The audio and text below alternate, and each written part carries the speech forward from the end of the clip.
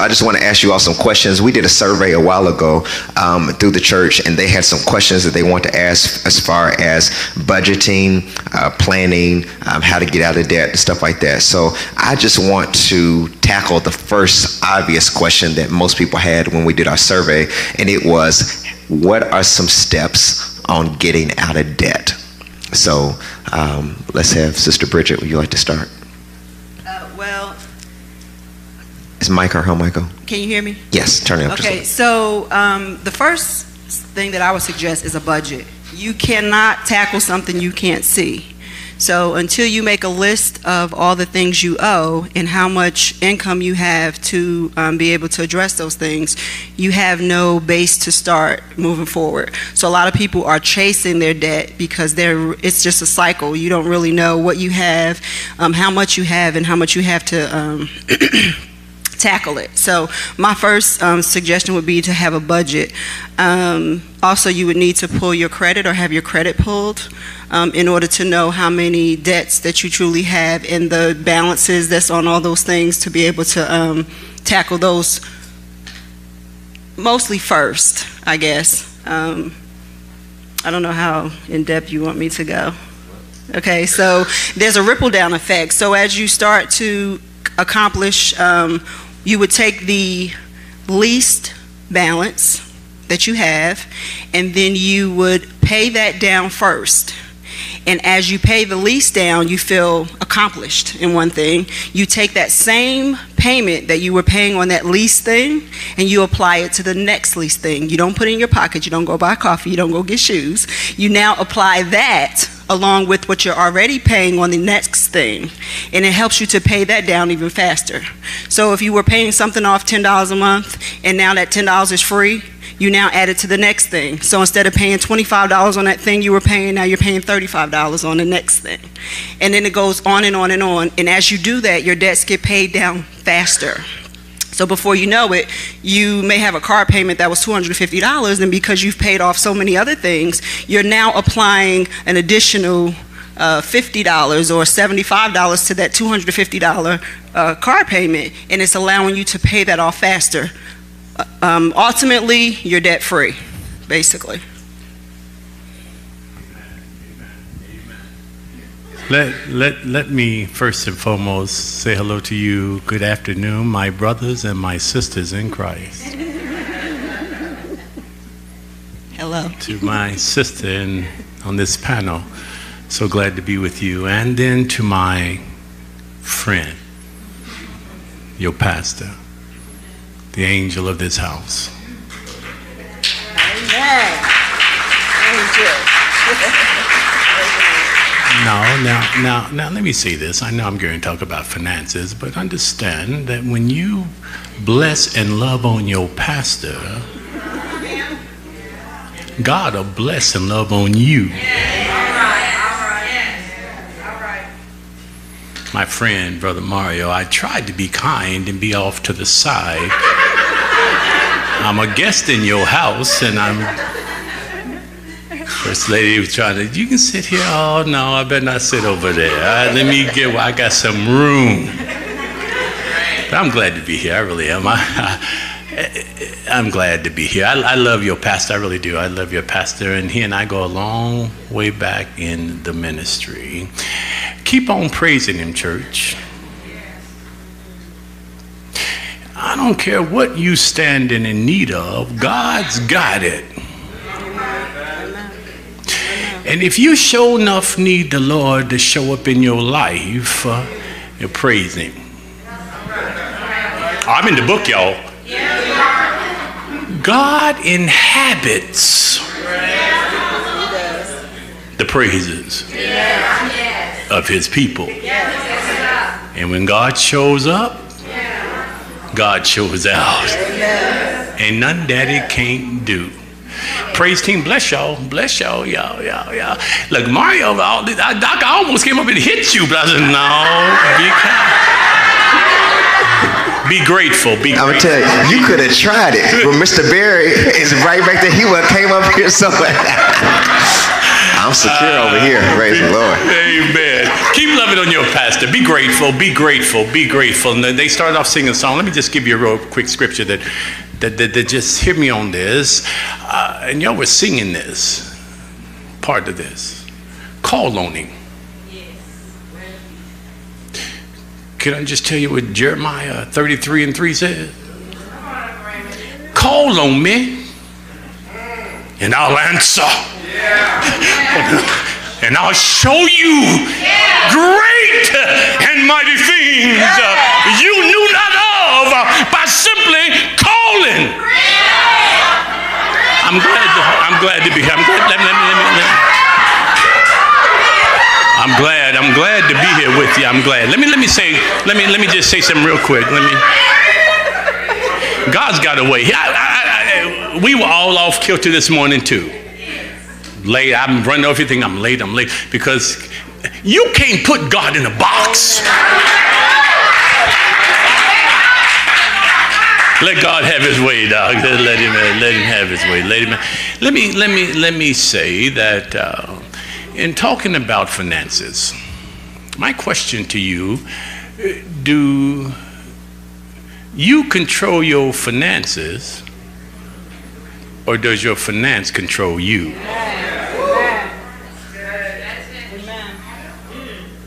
Mm-hmm. We, we have got here to the point where we control it. You know, if you're not careful, you get married to the car. I'm married to the house. All of my time goes to my debt. Now, how do I work that out? How do I fix that? Let me, let me give the first budget item, line item of your income and your expenses. We don't have time today, but one of the things I'm going to talk about down the road, if he allows me to come back, is what is called a debt ratio. It's what you have coming in versus what you have going out. Now and then, there's a line I love to use when we're doing budget. It lists every expense that you have. Now, the first expense everybody ought to have is what? Come on, talk to me. Some of y'all said it, some of you didn't. My tithe and offerings to God. Well, I'm going to tithe when I can afford it. Baby, you can't afford not to do it. Oh, I done gone to meddling now. Okay. Sound like I'm at home now in church. No, no, no, let me help us really, really, really. If you want to get the pecking order right, see, too many times we want the blessing without following the blesser. Right? Put things in the proper order. God always first gives the command, then he gives the blessing. We've got to stop wanting to seek the hand of God and start seeking the face of God. The hand of God or his blessing, the face is his righteousness. Amen. Oh, talk to me in here now. Come on. So, so, so, so the first is tithe and offering. It, it's a matter of people, as people say to me sometimes, well, do I tithe on my gross or do I tithe on my net? How you want God to bless you?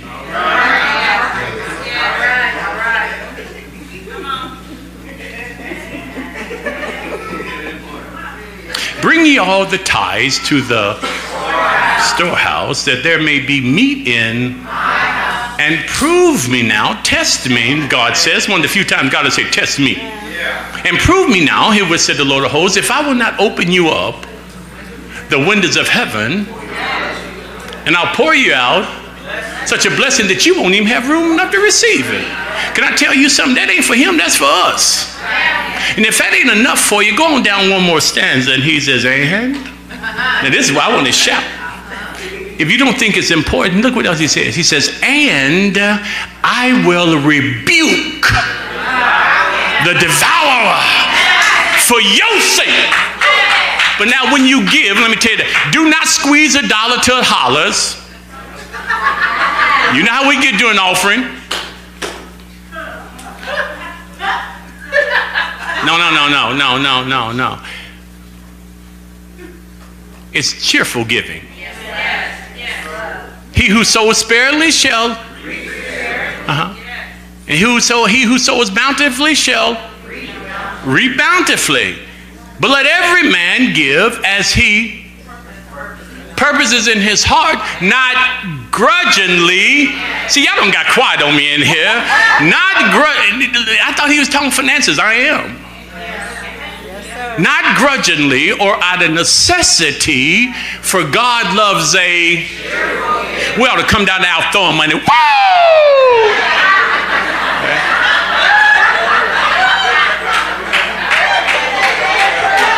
Because let me tell you something. Let me, let, me, let me say this. Let me say, I know I done gone over my time. Let me say this. If you got it, God gave it to you.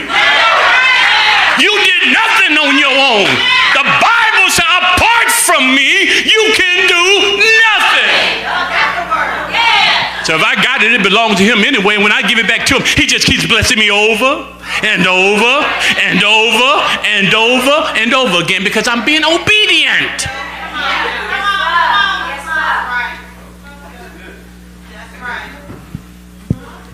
I'm trying to hush now. I'm trying to hush. I done messed around and spilled my drink on my shirt. But, but, budgeting, budgeting, budgeting, really, you have to know what you have coming in versus what you have going out, or you'll be going from paycheck to paycheck and not know where it is going. Now, a part of your line item of your expenses should not be payday lending. Wow. Wow. Okay. But let me say this now. Now, this is not a chastising seminar. Amen. Amen. This is to be a helpful seminar. Amen. Because there is hope for the hopeless. Every Christian ought to shout on that because we were hopeless at one time till Jesus came. All right, all right, all right. So, so, so I say, I say that because if you know when we know better, we do better. Yes. If you in that trap, come see one of us so we can help you get out. Because when we get into the payday lending, many don't understand and recognize it becomes like a drug. Yes, yes. And even though you want to quit, you can't. Because it's an addiction. And they're charging 400 plus percent on what you're trying to borrow. We got some programs that'll help you some rebuilders programs, some rehab programs that will help you get back on your feet. Stay, stay, stay if you can away from this. Stay, stay. The, the, the 90 day same as cash is good if you can pay it off in 90 days. The 12 month, same as cash, is if you could pay it off in 12. If you don't pay that off in that period of time, they go back and start charging you interest from day one on the full amount. Finance companies are doing their job.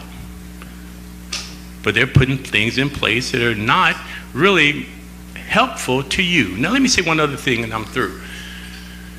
Get to know and develop a relationship with a financial person.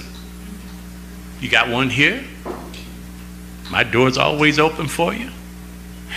Develop a relationship. If I asked you a question this morning, right now, if I said, How many people have a relationship with a bank or a credit union? Probably everybody's hand would go up in here.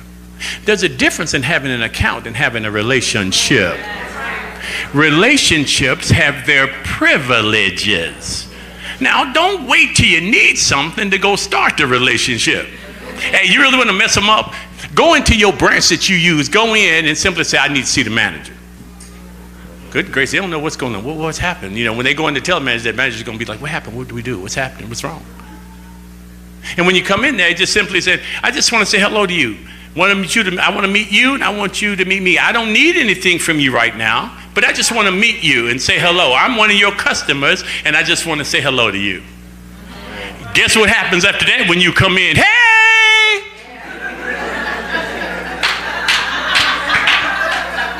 Now you know you're gonna need something down the road, but you ain't gotta tell them right now. Uh, one more question.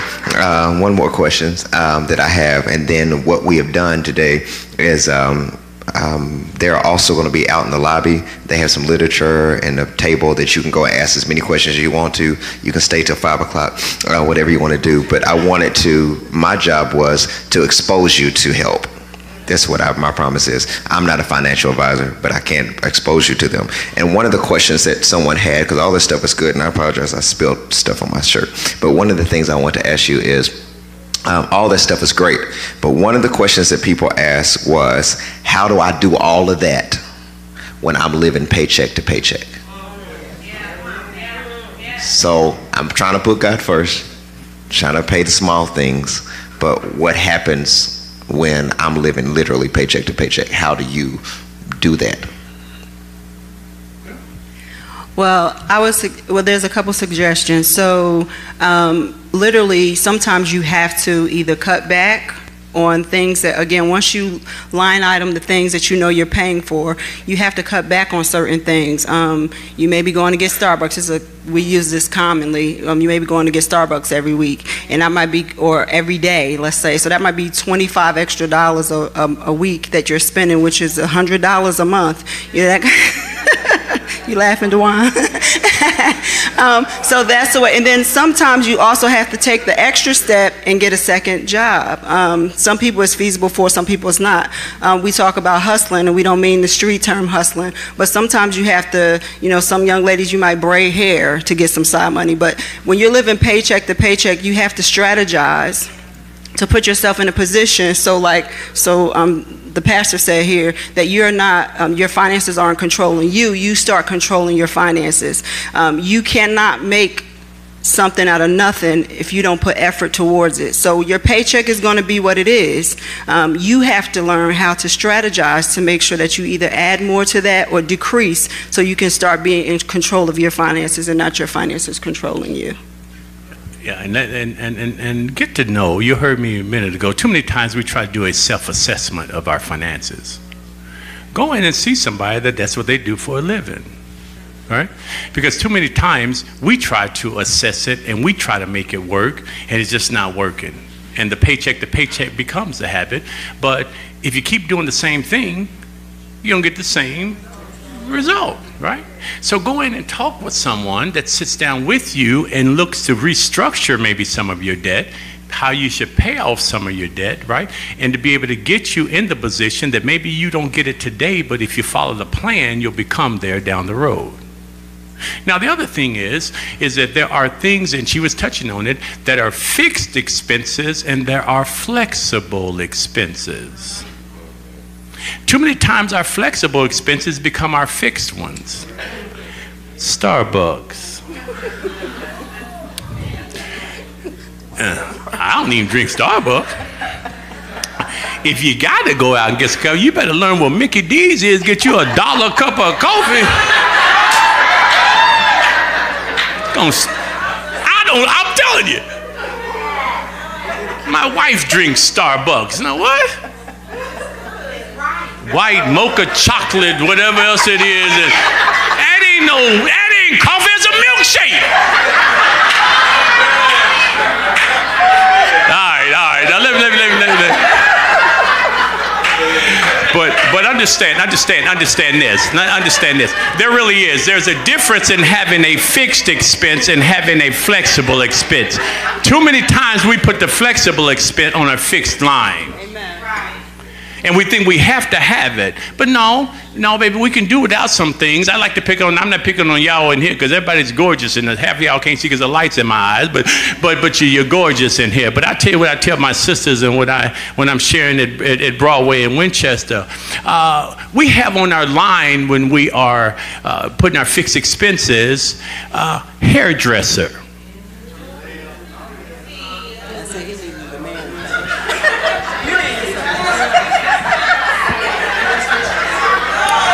Looking at nobody, I'm looking out the door. But, but we have as a fixed expense that I gotta go to the beauty parlor. I gotta get my hair done right. I got to look like something when I get on the stage for pastor. Oh, somebody's gonna let me turn the other way. Because uh, I ain't talking to anybody in general. But let me say this. I need, I need some folk got a few gray hair in their heads now because see, we ain't always had hairdressers. The hairs got done, but it wasn't going to no beauty parlor. Now, if you can afford that, that's fine, but that's a flexible expense. I do remember, I tease my sister on this all the time. I do remember Saturday night in the kitchen, turning the stove on. Y'all know nothing about this, but taking a straightening comb and laying it on the fire until it got hot. And it got so hot, they put on the back of them naps and pop, pop, pop, pop, pop, pop, pop.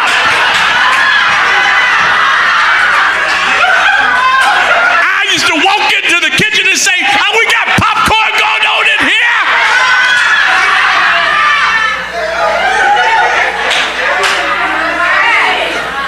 Control, you control, you control. Don't let it control you.